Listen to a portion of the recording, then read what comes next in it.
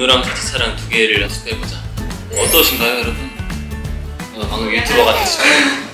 조, 조대구알 좋아요, 댓글, 구독, 알림, 알람 다 해주세요. 韩国男团 ASTRO 成员车银优被誉为脸蛋天才，身兼偶像与演员。近日，他终于开通了他的个人 YouTube 频道，首次公开宣传影片。 다은우 유튜브 채널 플랜 어떤 걸 기획하려고?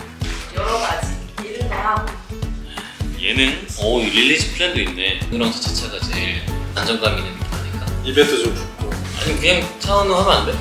그러면 차은우랑 은우랑 사치사랑 두 개를 합숙해보자. 어떠신가요, 여러분? 어, 방금 유튜버가 됐죠. 정했습니다.